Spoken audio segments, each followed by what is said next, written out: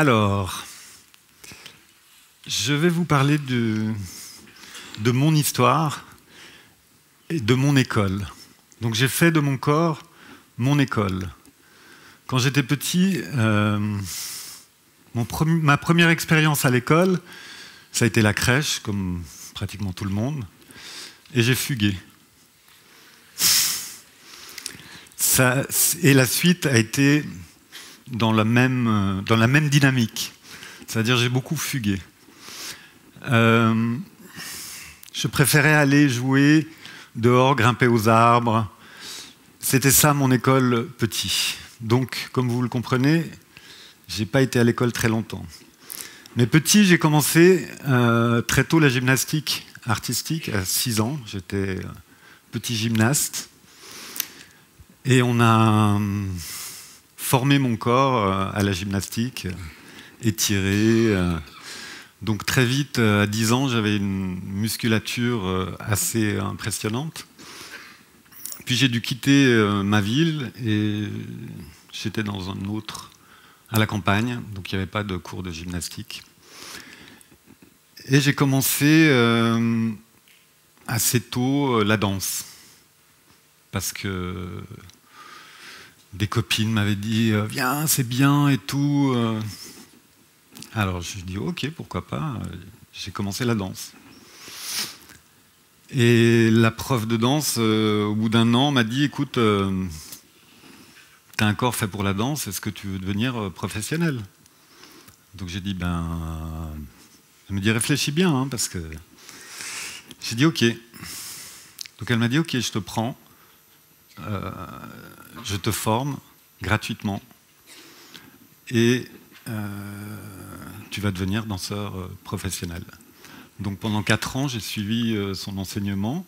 Et au bout de quatre ans, elle m'a dit, mais va-t'en maintenant, c'est fini, tu es formé, donc à 17 ans, je me suis retrouvé euh, dans une compagnie professionnelle et j'ai commencé à travailler avec des adultes. Moi j'étais 17 ans, on est encore euh, adolescent.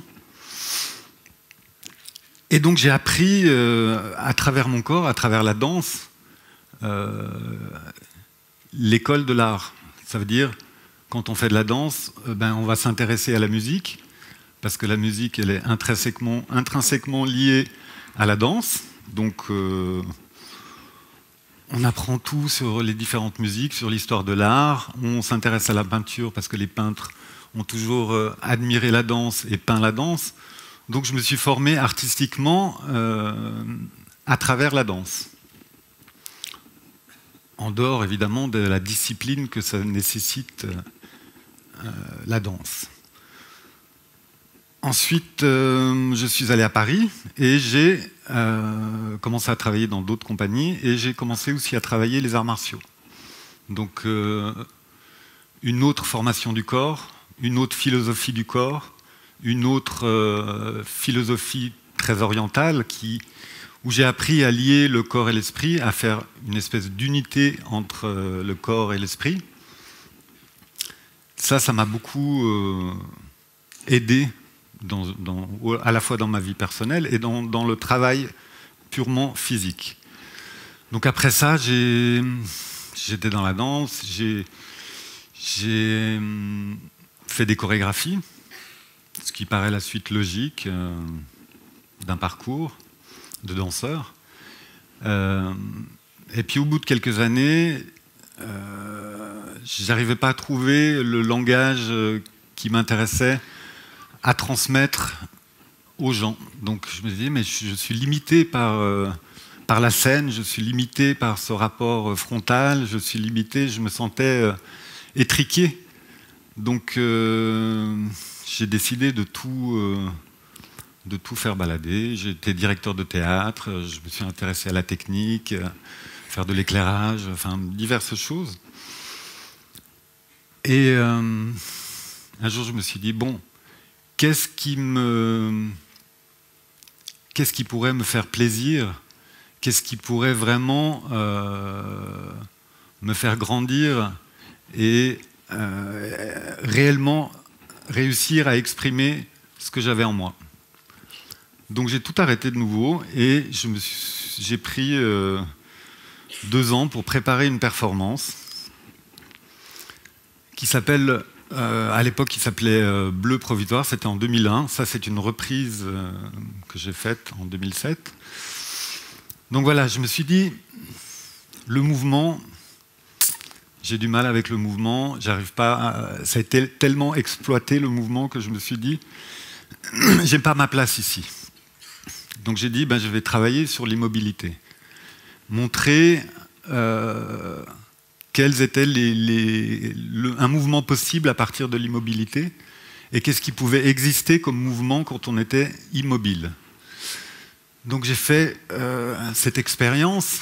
Euh, donc je suis dans une boîte en plexiglas, immobile, et petit à petit je commence à pleurer bleu, à ma morve qui coule du nez bleu, je commence à baver bleu, je commence à transpirer bleu. Tout ça dans une extrême lenteur. Euh, et pour moi, ça avait plusieurs significations. Donc il y avait ce mouvement de, l'intérieur du corps vers l'extérieur du corps, et j'avais envie de le montrer. Et à travers quoi je l'ai montré? À travers des choses que normalement on ne montre pas. Les larmes, euh, socialement, c'est pas très bien vu de montrer ses larmes, de montrer la morve, de montrer la bave, de montrer la transpiration. Donc, quelque part, j'ai voulu sublimer ces choses qu'on cache et que je ne vois pas pourquoi elles ne seraient pas belles. Donc, euh, c'est peut-être monstrueux, mais c'est monstrueusement beau.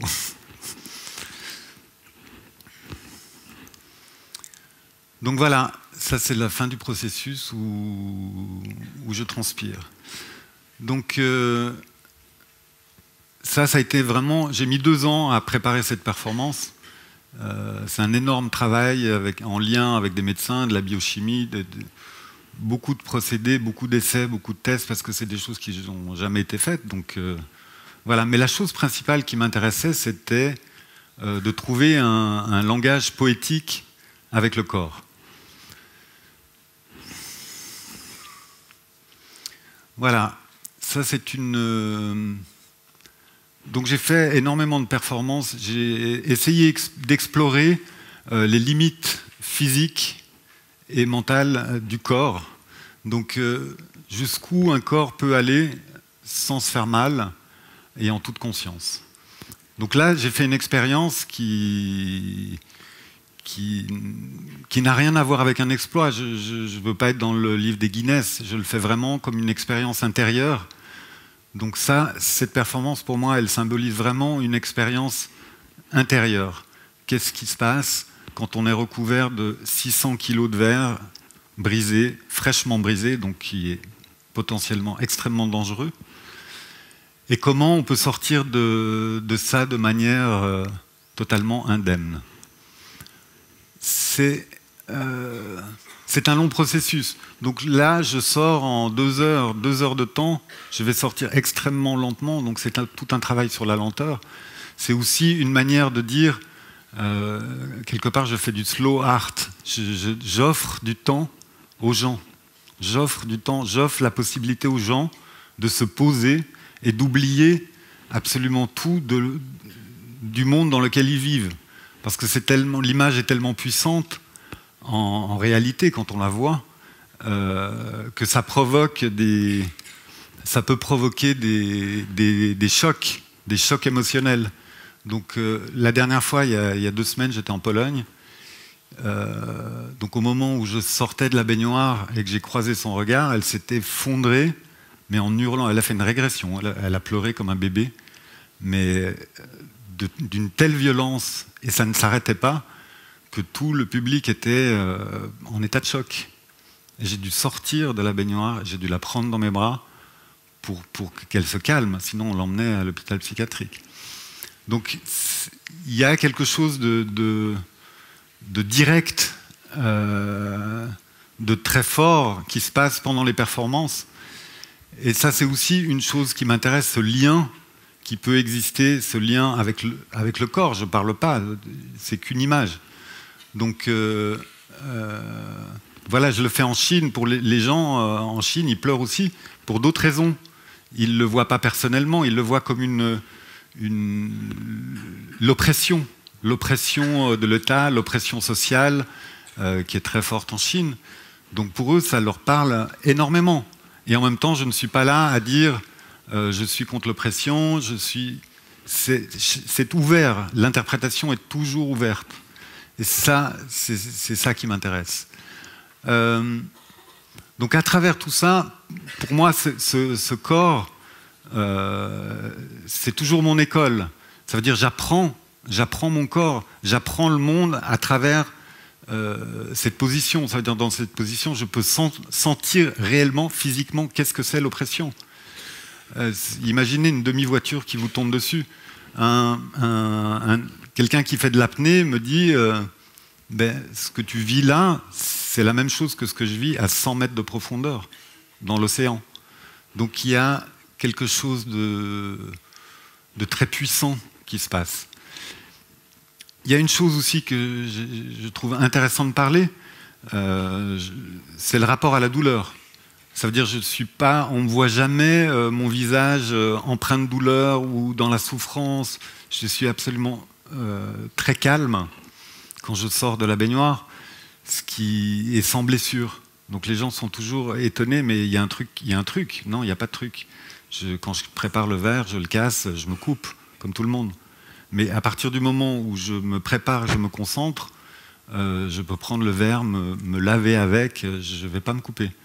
Donc ça, et j'ai pas de, réponse à part que voilà, j'ai une préparation physique intense, j'ai une préparation mentale intense, je, médite, je, fais des exercices de respiration. Tout ça, tout cet enchaînement fait que je suis capable de vivre ça sans douleur. Et ça, c'est important. Euh, mais la douleur, je, la sens à un moment donné. Simplement, je la traverse. Donc il y a, un point très fort sur lequel j'insiste toujours, de dire mais la douleur elle est importante. Il ne faut pas annihiler la douleur. Il faut pas. J'ai l'impression que nos sociétés ont volé notre sens de la, le sens du mot douleur. La médecine a complètement déformé le, sens de ce mot. Donc je suis, très en colère sur, toute la réappropriation des mots que nos sociétés sont en train de construire on nous vole le mot performance même est complètement dénaturé aujourd'hui. Je, suis performant, je fais de la performance. Ça vient d'une tradition euh, assez ancienne, depuis, le mouvement Dada jusqu'aux les années 70.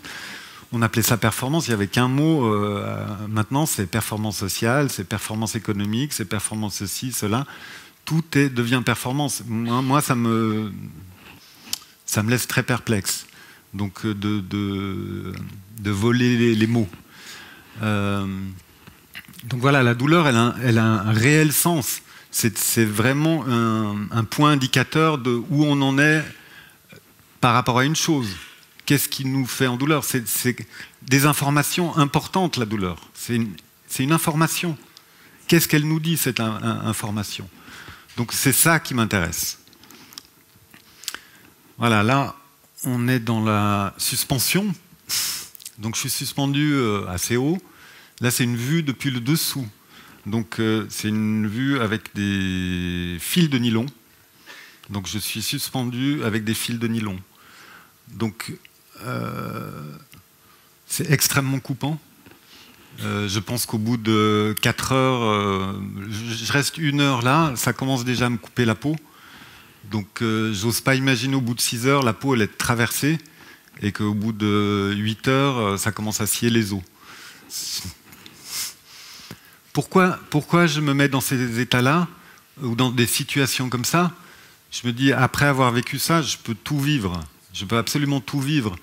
Et euh, je ne ressens pas la, douleur comme tout le monde, peut-être. Et il y a aussi l'idée du, danger. Si y a un fil qui se casse, il y en a 20. S'il en manque un, je tombe. Euh, et je, m'écrase. Donc il y a toujours ce, danger de la mort qui m'intéresse euh, énormément, cette frontière euh, entre la vie et la mort. En parlant de frontière, j'ai fait une performance qui s'appelle Rideau. qui est très actuel par rapport à toute l'immigration. Donc mon discours, il était assez simple, c'est que les, frontières, elles tuent. Et je voulais un peu imager ça. Donc le rideau, il est fait avec des os et des lames de rasoir. Et pendant 4 heures, le rideau, il me couvre et il remonte. Et les lames de rasoir, évidemment, elles, me, elles passent sur moi. Euh, et elles me coupent en deux. Donc il y, a quelque chose de, de, de, de l'ordre de l'absurdité euh, des frontières. Voilà. c'est ce qui est intéressant, c'est que les gens, euh, dans toutes mes performances, j'ai un peu euh, le, ce rapport euh, qu'il y a là. dans mes performances, les gens, ils seraient tout autour de moi et vraiment très proches, où on peut me toucher, on peut. J'aime cette abolition des frontières. Et donc là, déjà, pour moi, c'est déjà une frontière.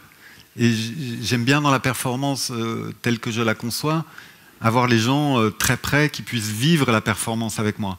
Je trouve essentiel de, partager une expérience. C'est pas moi je me montre, c'est on crée ensemble une, euh, on crée ensemble une performance qui, qui peut euh, changer énormément. Il y a des fois des gens qui interviennent, du coup la performance elle, elle devient autre chose.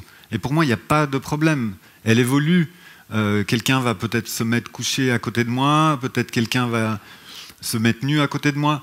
Donc tout ça, ça va transformer la performance. Ça, ça m'intéresse aussi.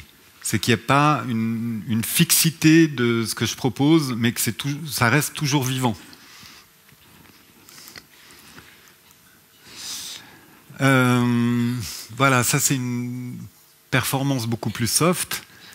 Euh, J'ai un costume blanc, n'est-ce pas?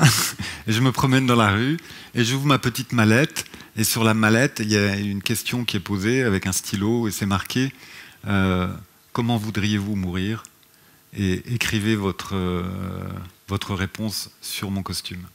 Donc tout d'un coup, les gens au début, quand ils me voient, ils rigolent. Et puis quand ils lisent la question et qu'ils comprennent qu'il faut qu'ils pensent à leur mort et qui doivent écrire sur moi, avoir un contact, c'est euh, passionnant, même s'il n'y a pas de, défi physique, mais il y a un rapport humain qui, s'installe.